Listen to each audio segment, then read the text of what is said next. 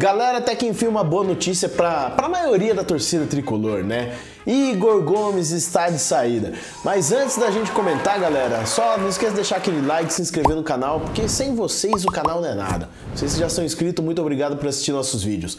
Galera, é o seguinte, o Internacional está interessadíssimo no Igor Gomes. Igor Gomes já tinha dado um, um joia na proposta, deu um like na proposta lá, já teria acertado com eles. Só que o Igor Gomes, para ele sair do São Paulo, ele só pode sair a partir de março né, de 2023.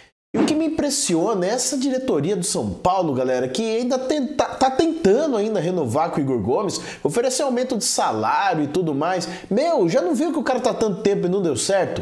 Já não tem mais clima. E a, e a diretoria ainda tenta renovar com ele. É absurdo. Eu digo isso porque, assim, o Internacional né, teria o São Paulo tem, tem interesse no atacante David do Inter, né, que não fez uma boa temporada e tal, mas ele foi bem no Fortaleza. Rogério Ceni conhece esse atacante lá do, da época do Fortaleza, né? Então o São Paulo teria interesse, né? E o Inter teria ter feito uma proposta assim, ó, tó, leva o David e você manda pra gente o Igor Gomes, tá? Até aí tudo bem. O problema é que o salário do David é de 400 mil mensais tá? É isso que está barrando isso aí. O São Paulo não quer gastar 400 mil nesse atacante. Eu também acho que não vale, tá? Eu acho que é muita coisa.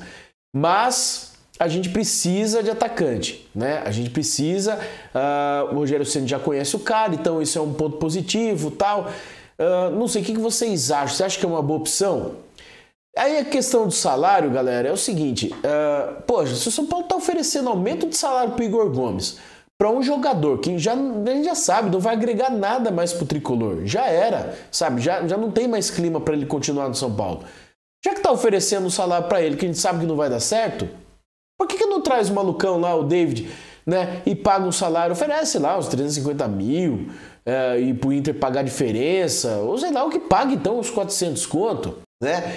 Mas faz um contrato por um ano, né? Sem né? Sem deixar igual o Nicão, por exemplo. Pagar 600 conto pro Nicão, para um galopo da vida, aí vai, né? E por contrato longo.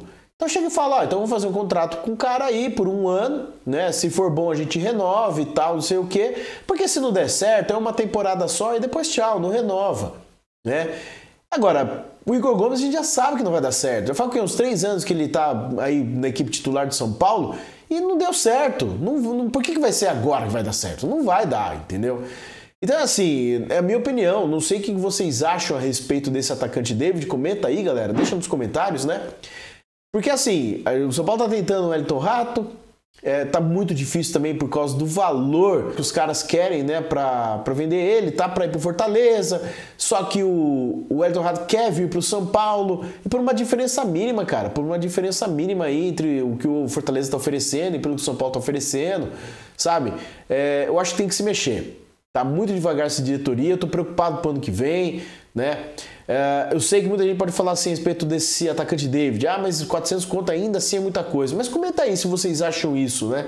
Eu posso estar errado, né? Mas eu acho que dentro das opções que a gente pode, dentro da situação que o São Paulo tem, já que vai oferecer um salário maior para o Igor Gomes. E detalhe, o Igor Gomes não aceitou também essa proposta do São Paulo porque ele está querendo ganhar igual o Cagliari.